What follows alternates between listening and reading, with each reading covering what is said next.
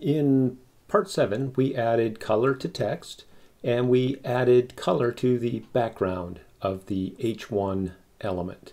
Now, let's look at adding color to the background of the entire body of the document. And to do so, what we're going to do is target the body itself. Okay, so we're not seeing it up here, but the body would be right above the header here, okay, where the body of the document begins. This is where our HTML is. So we're not seeing it in CodePen, but it's there. So let's just drop down a couple of spaces and we're going to use the body HTML element as our selector, as our hook or our, our means of connecting to our rule, our style. So let's just type body, the actual body element, and then we'll add the curly braces, and we're going to add background,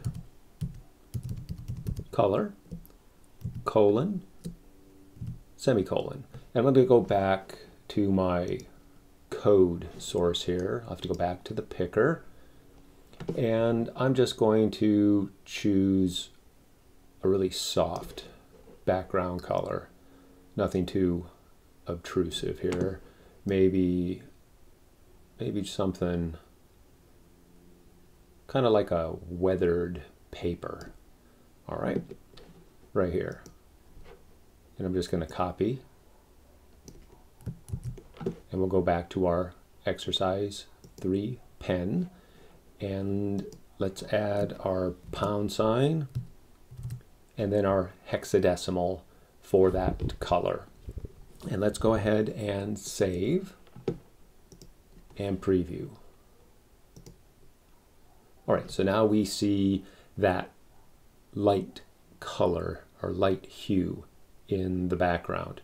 All right, so previously mentioned as far as uh, margin and padding, the body of the document itself has margin and has uh, padding, okay?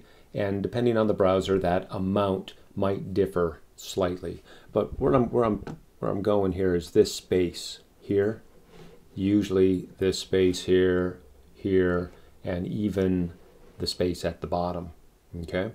So let's go back to our pen and after our background color, matter of fact, I tend to always do the margins first, but it's, it's the order will be something that you develop on your own. So let's do margin. And just to start out here, let's add zero. And we do not need to put percent or pixels. We don't need to put in a unit because zero here could be universal. So we're going to save. Now let's do a preview.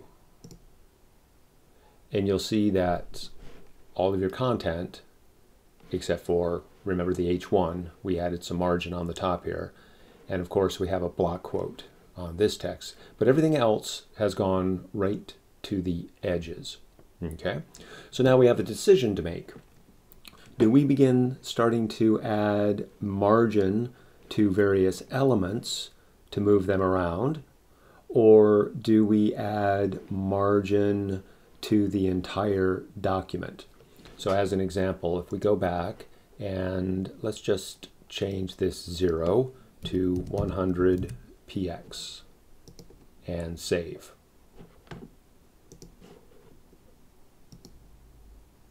And you see how everything has moved in. All right. So that's really something that you're going to have to work with as far as how you use margin, how you use padding on different elements to move them in relation to what is outside of them or potentially what is inside of them. So if you have a parent element or if you have a, a nested element or if you have two elements uh, top to bottom or side to side, okay? So are you going to be pushing something away using margin or are you going to be pushing something in, if you will, uh, using padding? Again, that's something that you're going to figure out as you move through the exercise. But basically, adding a background color to the body of your page.